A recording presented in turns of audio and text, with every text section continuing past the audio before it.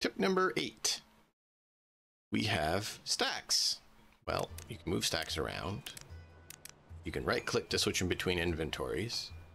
But how do you break them down? If you hold shift, you'll split it in half. If you hold control, you'll move it by one. That way you can control and break and move stacks based on what you need.